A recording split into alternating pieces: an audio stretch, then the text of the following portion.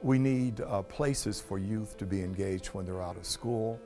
Uh, we know that between 3 in the afternoon and probably 7 or 8 are the most dangerous times for young people. But what are we as a community doing to keep our youth engaged and um, doing positive and constructive things that will make them leaders and solid citizens? What we're trying to do with the George Washington Carver Community Center is to celebrate all humanity, uh, validate all individuals who come through our doors so that we are able to improve their quality of life and expand on opportunities that they might have. On a daily basis, there were three to 400 children here.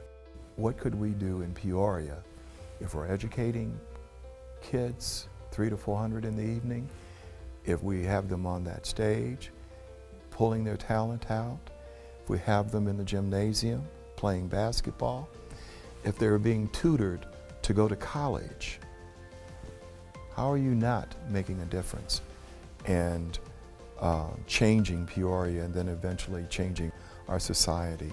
Uh, without the support from the community, the business community, we couldn't do it. Um, the George Washington Carver Center is different in the sense that we don't receive any state support. There's no money coming from the federal government.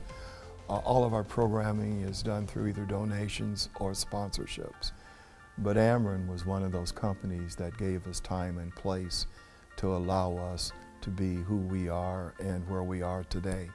And what is so remarkable, and I think that is powerful, is that when you have human beings who want to help others and they have a, they have a goal in mind, and it is a good thing, it happens, and lives are changed. And that's what we're trying to do now.